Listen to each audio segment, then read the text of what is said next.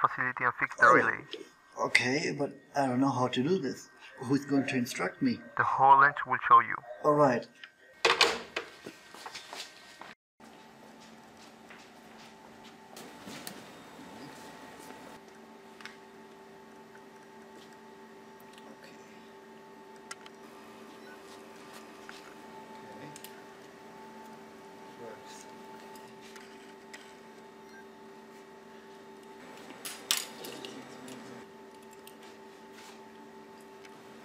Next.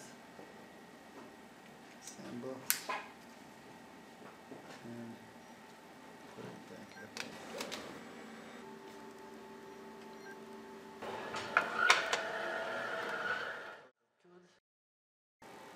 Hello, we're students of the Hochschule Darmstadt and what you have seen is a demonstration of our whole relay application.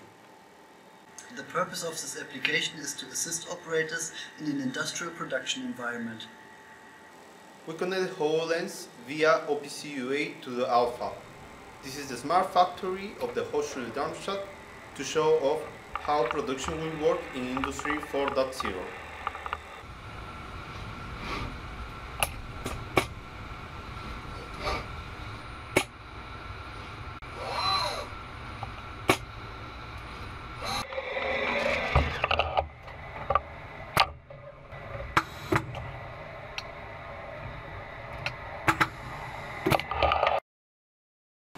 Okay, so now I will show you some features of our application.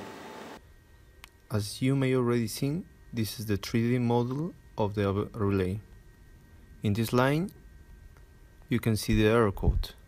This error code is triggered by the OPC server. We have real-time data of the error code. In the next line, you can see the instructions. The operator should make this instruction to make the rework.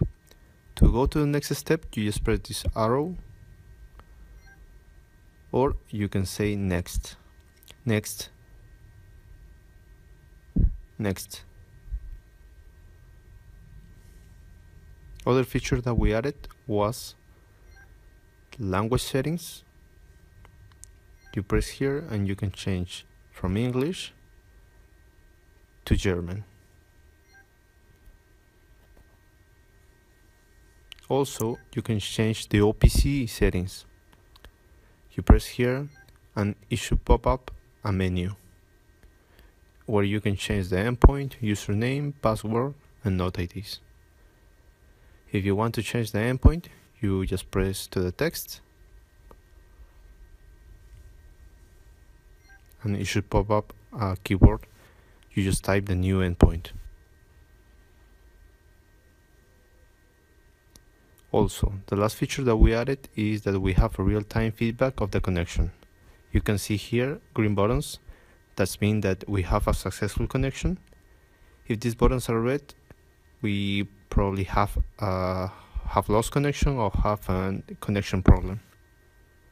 So, that was our application. Thank you for watching.